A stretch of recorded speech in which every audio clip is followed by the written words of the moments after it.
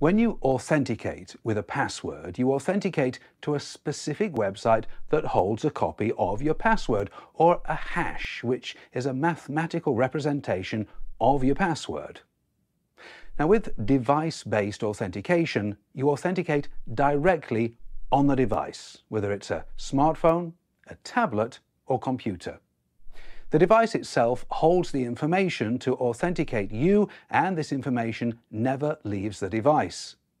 There are multiple ways in which a device could authenticate you face recognition, fingerprint scanning, or even a passcode.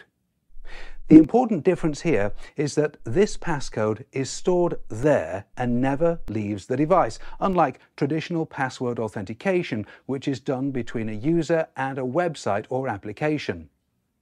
With device-based authentication, each device manufacturer, such as Apple, Google or Microsoft, is responsible for building the authentication mechanism in their devices and for authenticating users using these mechanisms.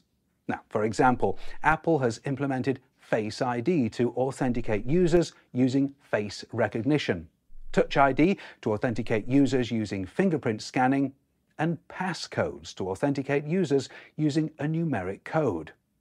Websites and applications can leverage device-based authentication using the WebAuthn protocol.